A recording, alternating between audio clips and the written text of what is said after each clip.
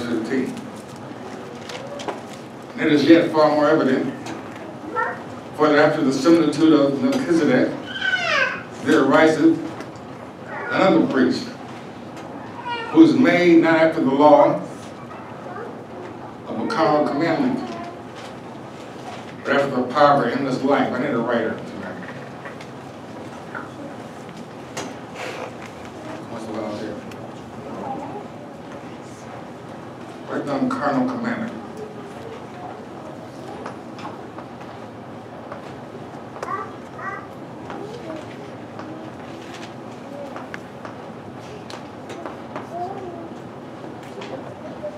I, um,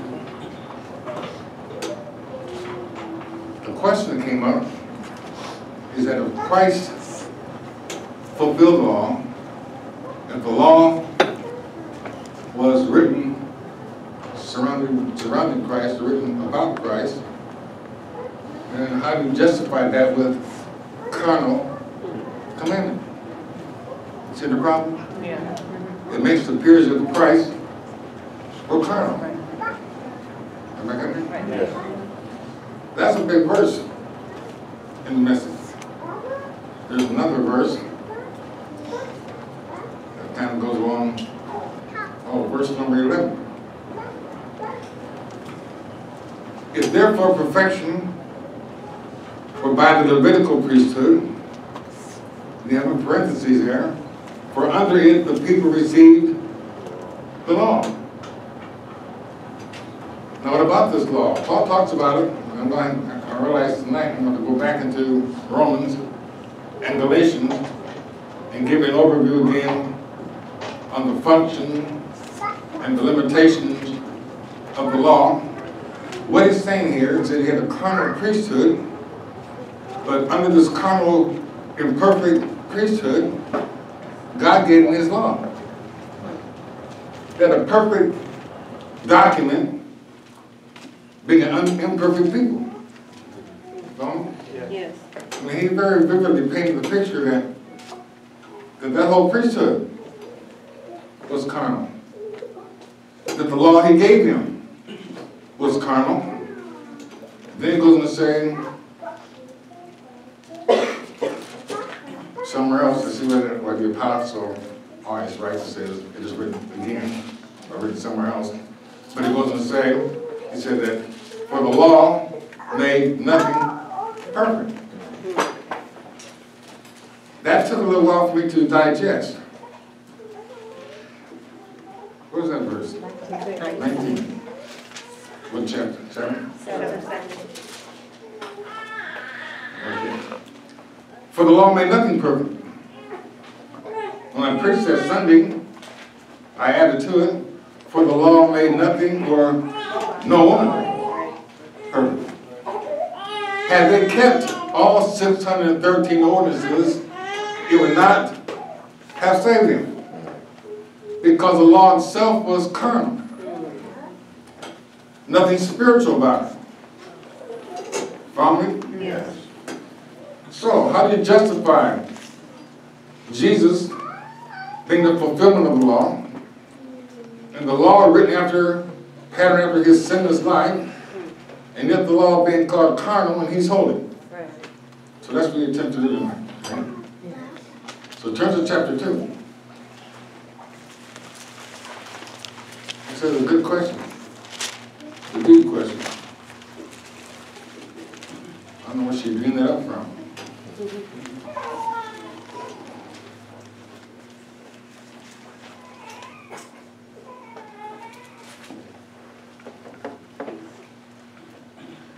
Therefore, we ought to give them more earnest heed to the things which we have heard. And rest of the say, give them more, more earnest heed to the things you read. That's been driving up on them lately too. He said, reading your Bible is good, you. Hearing does. Give more earnest heed to the things you have heard, lest any time we should let them slip. For if the word spoken by angels was steadfast, and it was, and every transgression and disobedience received a just recompense or reward, and it does, How shall we escape if we neglect so great salvation, which at the first began to be spoken by the Lord, and was confirmed unto us by them that heard him? God also bearing the witness, both the signs and the apostles, both the signs and wonders, and with divers miracles and gifts of the Holy Ghost, according to his own will. That again, in the beginning, the apostles worked a lot of miracles. I believe when the church was born, the Pentecost, the 3,000 came in, I don't believe a sick person in there.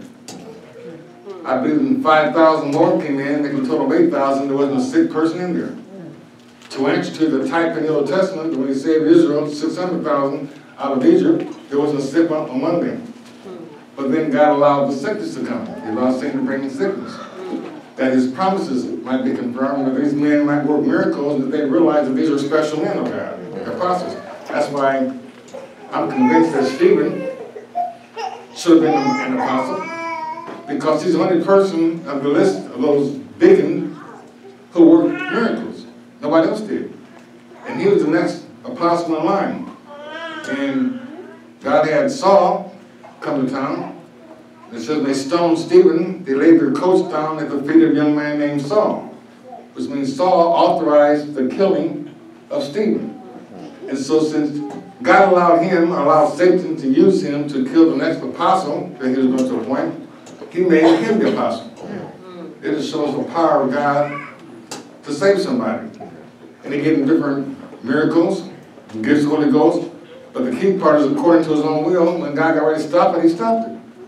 We got people in church today who complain about the fact that, you know, we need to demonstrate more of the Holy Ghost power. They talk about the apostle laying hands on people and, how they got healed and what Jesus did and everything. They missed the point. That's a whole different thing.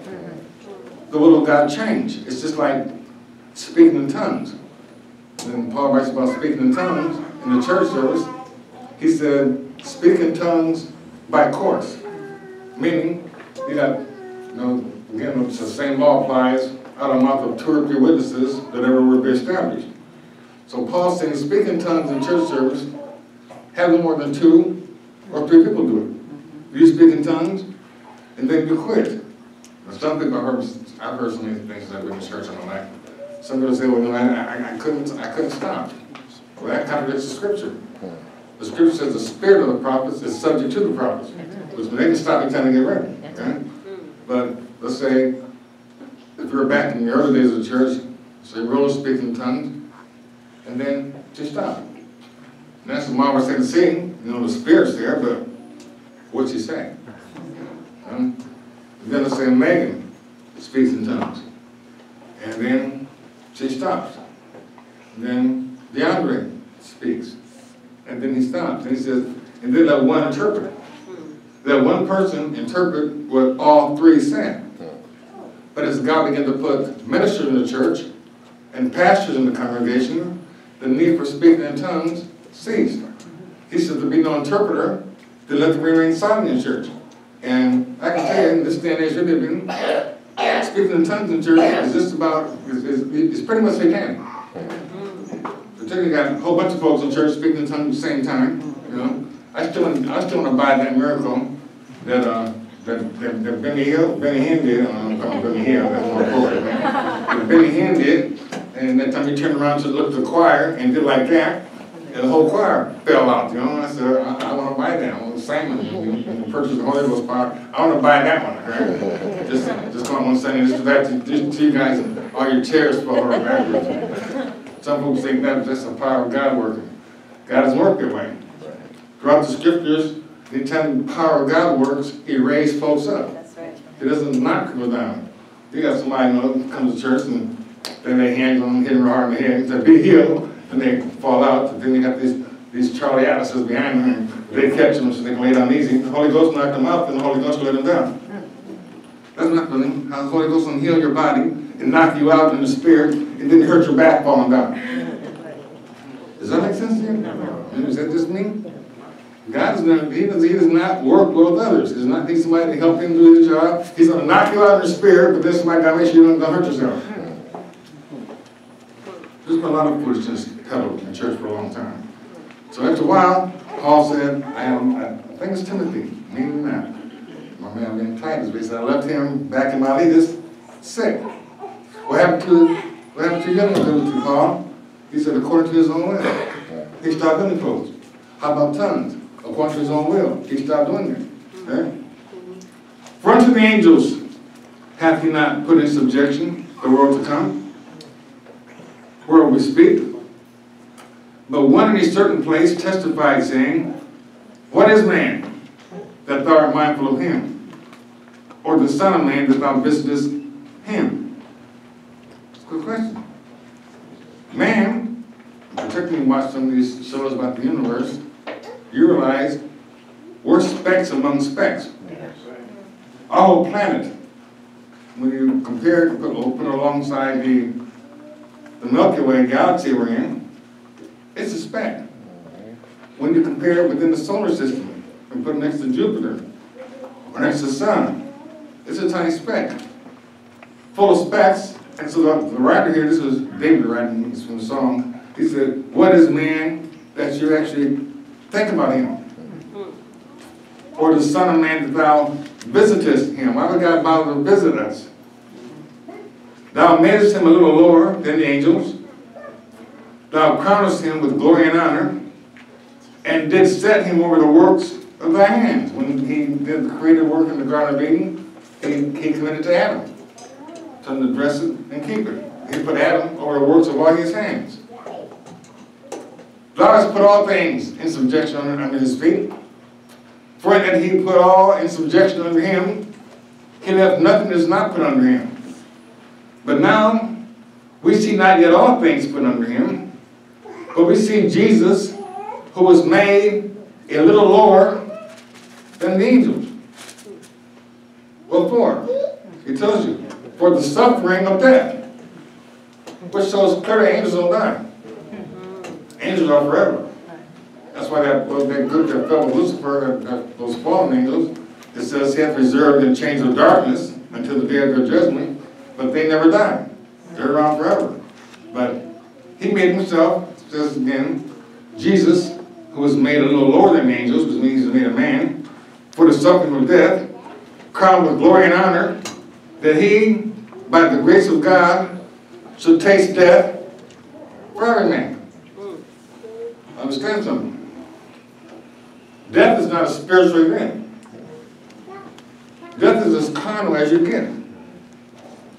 For sin, carnal act, comes death. That's why Jesus could say that whosoever liveth and believeth in me shall never die. Why? Because he tasted death for us. And he that is dead and believeth in me shall live again. When he died, he tasted death for the entire human race, those who will accept what he did. For it became him, for whom are all things, and by whom are all things. And I'm going to get to, and the Lord's going to, we have, if I can see so far, chapters 8, 9, and 10 in Hebrews, it'll come to the high priest. And I expect God to go back to Colossians like he told us and finish up this run in Colossians. But the theme of Colossians right here is one verse. For it became him for whom are all things, and by whom are all things, and bringing many sons into glory, to make the captain of their salvation perfect through suffering. For both he that sanctified and they who are sanctified are all of one, for which cause he is not ashamed to call them brethren, saying, I will declare thy name unto my brethren, in the midst of the church will I sing praise unto thee. And again, I will put my trust in him. And again, as I said, Paul writes sometimes he gets on a roll. He doesn't tell you who wrote it, he says again, and then again, and again, okay? And again, I'll put my trust in him. And again, behold, I and the children which God hath given me, he calls his children. He'll supernaturally calls us his brothers. Now here's the key verse. For as much then as the children are partakers of flesh and blood, he also himself likewise took part of the same, that through death he might destroy him that had the power of death, that is, the devil. That's why you can justify then a carnal commandment and make it applicable to Jesus.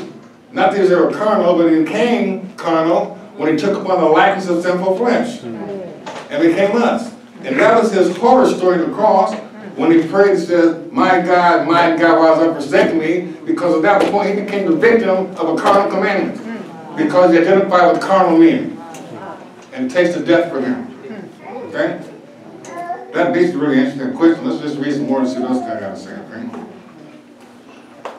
okay? For as much as the children are partakers of flesh and blood, he also himself likewise took part of the same, that through death he might destroy him that had the power of death, that is, the devil.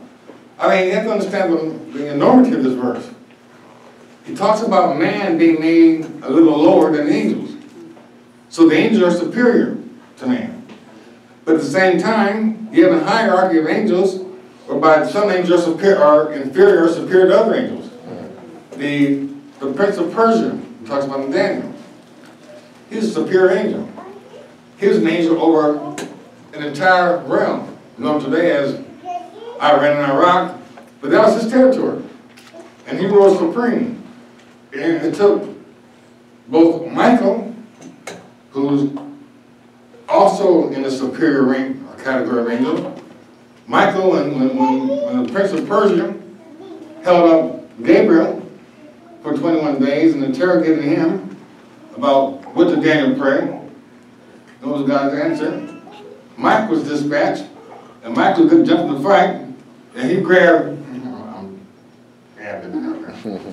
he grabbed the Prince of Persia's arms, and Gabriel escaped. And Gabriel told Daniel, said, when I go back, we're going to go, Daniel, or Michael and I are going to continue this fight with the Prince of Persia, and we want to get rid of him. And he says, and when we get rid of him and dispatch, expel him from the heavens, he said, then the Prince of Grecia is going to come.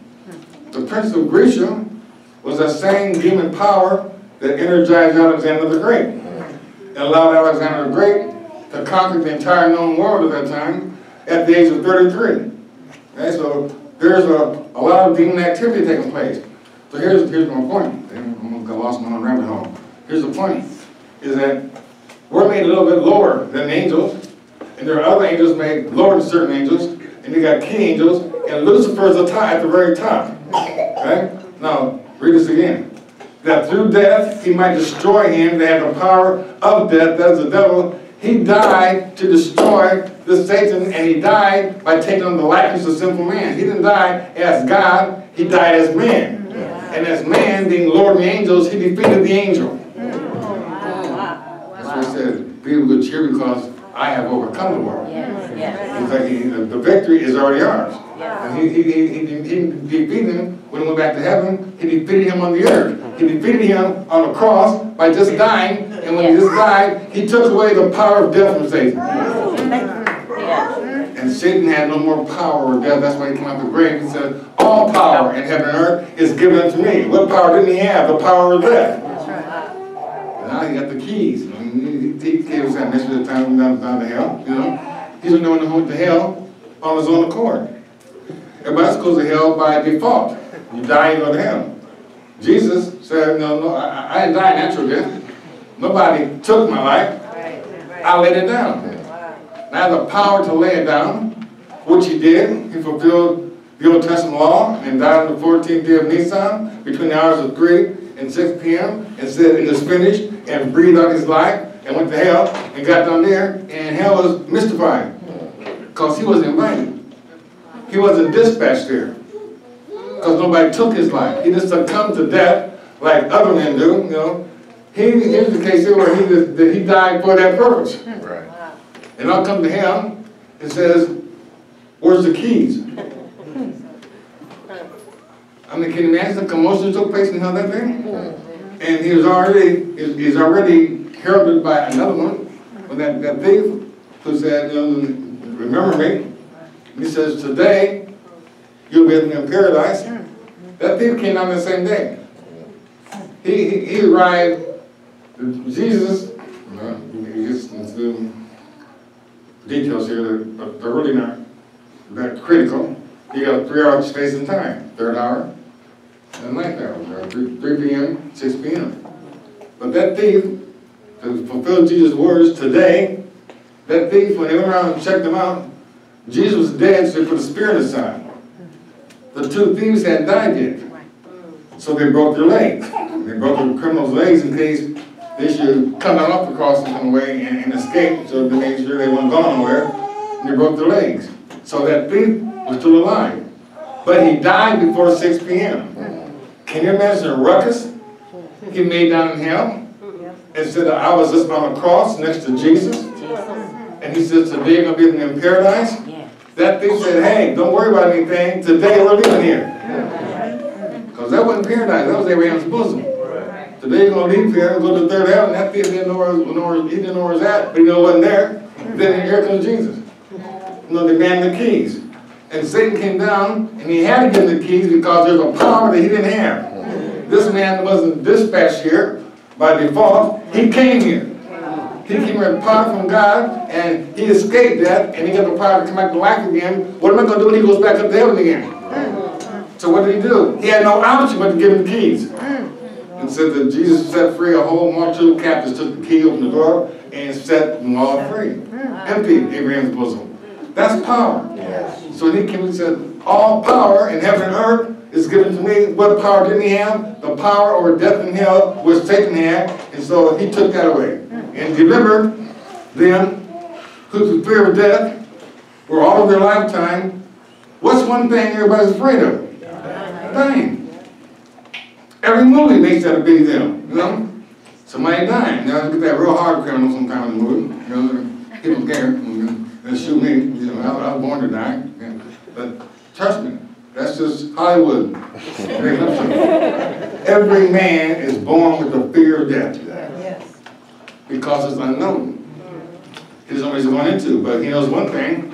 I think when death comes around to visit a person, they know at that point in their life they got a rendezvous with God. Yes. And they begin to search the life Yes. and check the life. And am I ready to meet God? And in most cases, they're not.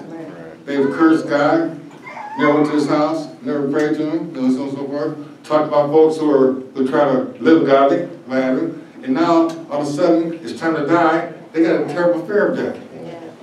And so I heard, I don't know if it's apocryphal or not, true, but I heard a testimony about a, an atheist who's about to die. And he said, living a life of not believing in God is okay to live by. He said, it's not worth a dime to die by. Because all of a sudden, guy gets real big and gets real well. And then there's a scripture that says, prepare to meet that God. There's a preparation for death. Those who know God have no fear of death whatsoever. They welcome. You know, like Paul said, you know, uh, to be absent from the body is to be present with the Lord. He said, I'd rather, I'd rather be with the Lord, but he told the Corinthian church, but if I'm with the Lord, I can't be with you. So I'll pass up on being with the Lord right now. And stay, stay with you. I, understand where Paul's coming from for the first time in the last couple of months, that uh, I'd rather die. I rather go to the Lord. But what hit me though is that I have absolutely no fear of dying at all. It's like, it's the thing to do. You know? And I thought about you over there, I leave behind, and I thought bad about you guys. But, you know, that's just the way it is. Somebody has to go left behind. but I'm still here, so it wasn't, it wasn't time. I just, I signed up, I signed up for the end. I'm gonna be here till the end, and that's just the way it is. And, you know, we're gonna just have these emergency texts sometimes, and they'll just stop and bring me through. And the truth is, like, tonight, I was not coming tonight, I was still, I was still in bed, I took pain pills at quarter till seven. And I told Shaz, let's give it 30 minutes. See how, see how it works. She came back and said, 7.15. I said, go just give me 10 more minutes. And at that point, I couldn't move. I couldn't get up. I couldn't even think about them. And so I decided, okay, I was going to church in my pajamas. And uh, it's for the road, you know, so nobody really know. And then the Lord, the Lord reminded me that how I was I, I, I broke that for you on Sunday, Wednesday, and I was to come and preach. It was amazing. Last Wednesday when I got finished, I was sitting in the car, I told Shelley, said, let's go right away. I think you guys got the message Sunday, I said, I'm going home. Uh, It's like, and it's warfare, I know that. I come in, I hit him as hard as I can, and he punches back, you know? That's how it goes. He's not laying down, because he's, I think Satan has discovered for the first time that this is the real deal here. Yes, amen. And we're no longer hidden. We're, we're on the radar now. And he's paying us close attention. Yes. He's paying the message close attention. And Satan may not believe in the truth or being the truth, but he knows God's voice. Yes. He's heard God's voice before he heard God speak, and he recognizes God's voice. And he knows that God's voice is going forth here, and that makes this place, you know, he made a mistake one time. You know, he, he didn't take Jesus seriously until Jesus appeared down in his domain. All of a sudden, Jesus became his worst nightmare. He ain't gonna make a mistake the second time. He's taking every one of us serious. He stopped by our house Sunday and made the whole house sick. Mm. I understand that from mine. Everybody was thrown up one time. It's like, it's like an orchestrated. Whole house got sick. And, and, and someone mentioned the fact that, you know, what, well, my, my stepdaughter Stephanie, you know, she doesn't, she doesn't go to church or anything. Why did she get sick? And she said because she was in the house. Mm-hmm. He attacked the house. He attacked everybody in the house. And making difference with the church or not. You're in this house. So I'm gonna just come and, and it it shows how ruthless he is. Yes. He made the little girl sick. He made the baby, Tristan, made him throw up. Tristan, you know, he's all puzzled and everything. You know, the food should go this way. And all of a sudden it's coming out, you know, and, and he got, he got sick. It shows how ruthless and violent Satan is. He doesn't care. He's gonna, he launched a, a full-fledged attack. And it just shows how real it is, you know? And we're real, real warfare. That's just how it is, you know? And I, I learned now that when I get finished preaching, I expect to catch him, you know? I did my throws, he did his throws. Yeah, I'll come back and throw him again next time, and he's gonna throw it on next, next time, and that's just the way it goes, you know? Right. Yeah, I'm ready to do battle, I ain't got no problem with that. I intend to knock him out, I intend to knock him into hell. Amen. Amen. Personally, Amen. that's, that's wrong, okay? Now, uh, I had a lot of stuff to talk about tonight, but I'm not gonna talk about any of that stuff tonight. The word is too good to mess it up, so let's just turn it off. Amen. Amen.